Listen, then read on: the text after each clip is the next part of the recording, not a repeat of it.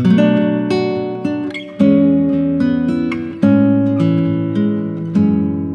everyone, this is Heba from My Little Journal and today is March 1st, 2024 and I'm here to share with you the new Studio Calico kits and add-on stamp sets. So as always, I'm going to start with my add-on stamp sets and then we will check out the kits. Okay, so let's start with the date stamp. So this date stamp ends, I think, 2033. So it starts uh, 2024 and then it ends 2033. So that's pretty cool. And I love Studio Calico's date stamps. Um, this is my older one. And uh, this older one was white and the new one has more of a creamy color to it. And mine should end soon, I believe, if I'm not mistaken. Either way, I'll just start using this one now. Uh, anyways, let's move on and check out the stamp sets. So we're going to start with the 3x4. So this basically is a good add-on stamp set for your kit, your documenter kit. But if you want to pass on it, you don't have to pick it up because it is sold separately. I do love this. Um, I'm hoping to use this today and I'll share with you how to use this stamp.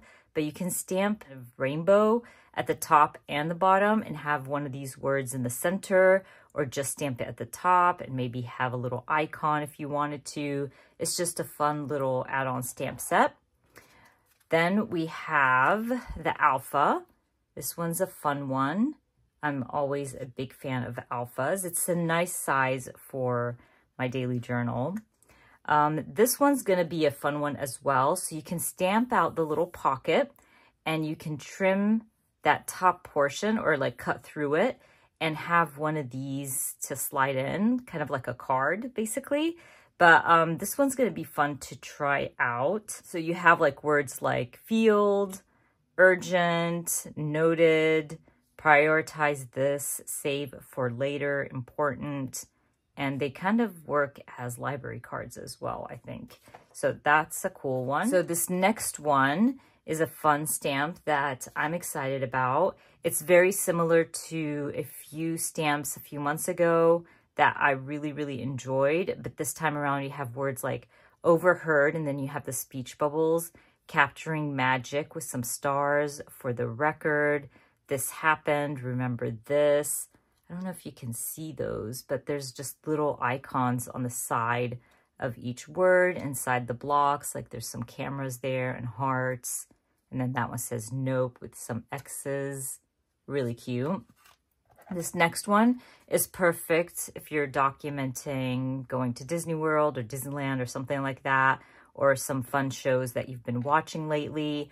Uh, but it has magic is something you make, everyday magic, some stars like clusters of stars, a circle with the clusters of stars. All I see is magic. Really, really cute. So those are the add-on stamp sets. Let's check out the stamp subscription. So this month, the stamp sub is pretty fun. Love that it is designed by In a Creative Bubble. And you got the enjoy the now, a day well spent, slow down, take it easy, savor. And again, like that nice little card. I wonder if this fits in that pocket. Let me check. I don't think so. No, this one's too small. Oh, well, it's okay. Anyways, you can make your own pocket. But this one's a fun little stamp. Uh, again, I just love that it is designed by In a Creative Bubble. I enjoy everything she makes, and I'm excited to use this. Alrighty, let's take a look at the Documenter kit. Ah, I never can open this properly. I'm really bad at opening these envelopes. Okay, that did not work but we got it open. Oh, that's so pretty. I love the yellow. Oh my gosh, I'm in love with the packaging. Okay, so the inside has field notes. I'm kind of bummed. I thought the inside of the envelopes would hold the month, like a little card where you can trim out and probably use it in your like project life or whatever project you're working on, but that's not the case. Again, that's not a big deal. But anyways, I'm going to remove everything out of the packaging and we're going to take a look at the Documenter kit. All right, so the first thing I want to see is the washi because when I opened this, I was like, okay, I think I'm really gonna like this. Look how pretty and subtle that is. I am so excited for this. How can I be so excited about washi like that? I like it's literally the first thing I want to look at when I open the packaging. I just love that blue. It's so pretty with the hints of yellow and green. Loving it. Next up is these little um, pockets.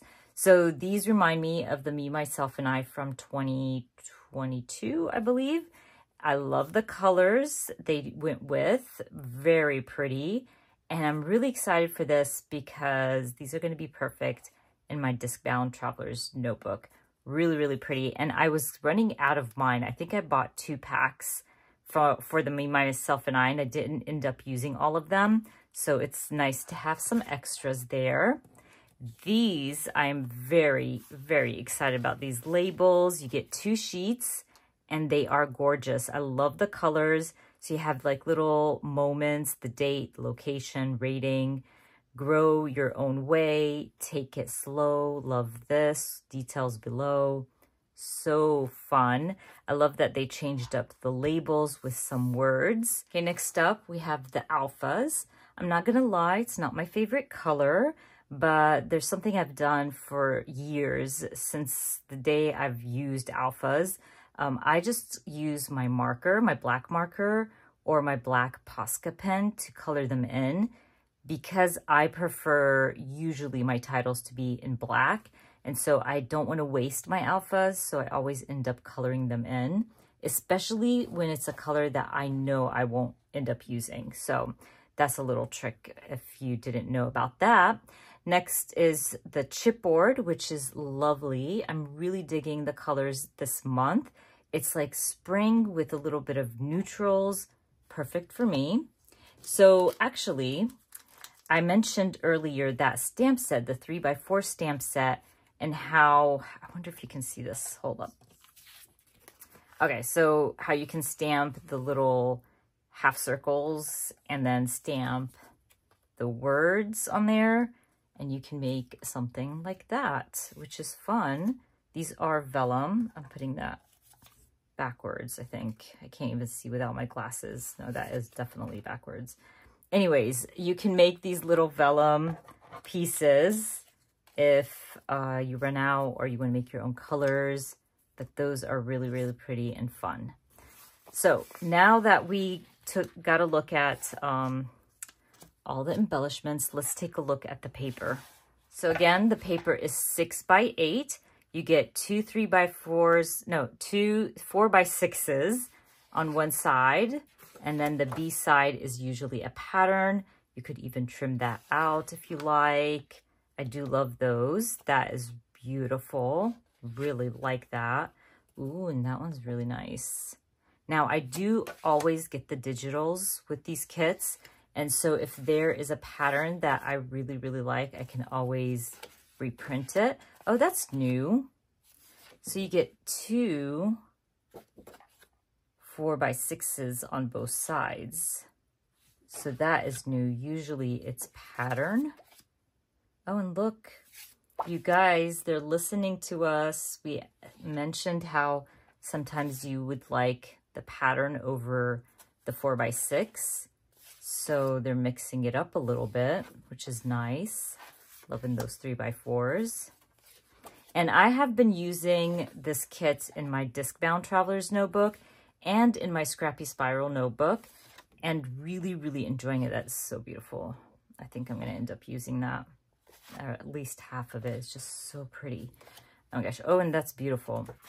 So anyway, um, I have been, you know, enjoying the trimming things apart and adding pockets to my disc-bound traveler's notebook and using the 3x4s in there. That is beautiful. Love it. Some more very, very pretty. That is nice. I'm really digging this month's kit. Those flowers are lovely. Yeah, I think I'm going to be using up a lot of this kit. It is so my colors. and my style. And um, there's your cut aparts. You usually get the two by twos and then the cut aparts here with some tags and labels. They're just so pretty. Very nice. I like that they listened and switched it up a little bit and added pattern on pattern. That way you're not having to, you know, choose between the pattern and the cards. So anyways, that is the new kit and the add-on stamp sets. I'm going to be using my kit today. I haven't decided in what yet. It might be my scrappy spiral notebook or my traveler's notebook. I'm not sure. So if you want to see how I use my kit and in what I'm going to be using my kit in, just keep watching. Okay, so I decided that I'm going to be working in my traveler's notebook. So basically, I'm going to go through the paper from the kit and try to figure out which paper or pattern paper that I want to work with and that goes well with my photos. Once I decide on my pattern, I will also be adding some grid paper as well from my own stash because as you guys know, I do love my pattern paper, but I also like to keep things simple and I like my white background, so I always end up adding some grid paper. I really like this pattern. It's very subtle. I love the blues and my photos have a lot of blue in it, so I think this is going to work perfectly. I decide to use the whole paper and it's going to cover up one side of my traveler's notebook layout and there's just going to be a smaller piece on the opposite side. That way I still have some of the grid popping out from the background and also I have some color as well. So once I stick down my 6x8 paper to my grid paper, I'm going to grab my photos and try to figure out how I'm going to lay my photos on this spread. I have about four photos of our recent trip to the aquarium, the Georgia Aquarium. This was a special evening where Georgia Tech closed down the Georgia Aquarium for their students, and then the students were able to invite family and friends. So basically, we all went, and I took along my sister as well and we met up with Sabine's friend and Sabine's friend's mom, and it was just a really lovely evening. I tried really hard to just stick to a few photos for this layout, but I decided that I'm gonna re-document this in my Scrappy Spiral notebook so I'll be able to document more photos from this outing once I, you know, work on that spread. But anyways, for now, I'm just going to stick to these four photos. I started by adding one of the labels that says little moments. And it's a great place for me to just add the date, uh, the location, things like that. I also want to use the three by four stamp. I'm really digging this like oval looking um, rainbow thingamabobber. I don't even know what I want to call it, but I think it's going to be fun to add it in the corner. Right when I added my photos, I had this vision of kind of creating clusters of embellishments, stamping. So that's what I'm going for at this point. I fill in my little stamp. I wish I went lighter and didn't go with black ink for this, but it still worked out and I'm not gonna worry about it. I'm not gonna change it. I think it'll help balance between the colors of the photos and my layout. I went ahead and stuck down my photos and I go back to that sheet of labels and use this one that says this moment, but I don't need the whole label. I'm just gonna trim it in half and add it to the side of my photo. There's not enough space for the full label, and I think it looks pretty cool trimmed down. Using some of the chipboard to add dimension to the sides of my photos. I'll also grab a circle chipboard as well in yellow to match my label. And I fill in the space really nicely, but it's not overwhelming, which I really like.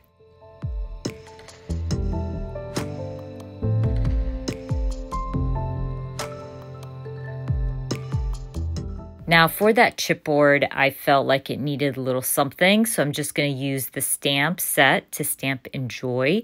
I don't ink up the whole sentiment, I just ink up enjoy, and it fit really nicely in my yellow chipboard. Now that I'm done with the right side of my spread, I want to start working on the left side, and I need space for journaling. So I'm just going to use the yellow pocket, the vellum pocket. It's so cute.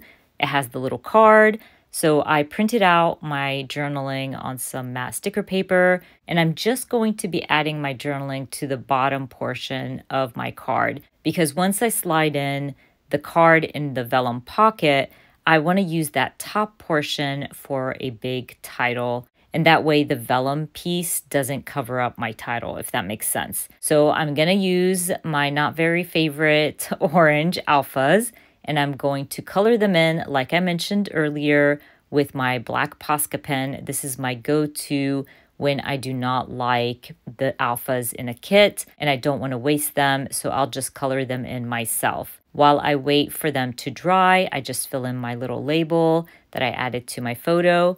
I go back to the alphas and I use the alphas to add my large title, which is going to be today. I did want it to be one word because I still want to use the stamp set to add little something around the title. So I end up using the same 3x4 stamp set. I'm going to stamp the little box right underneath today and I'll fill in the box with moments. And I will also use the rainbow to add a little bit of color to my title. I go with blue so it can match my photos. And then all I have to do is stick down my pocket to my layout.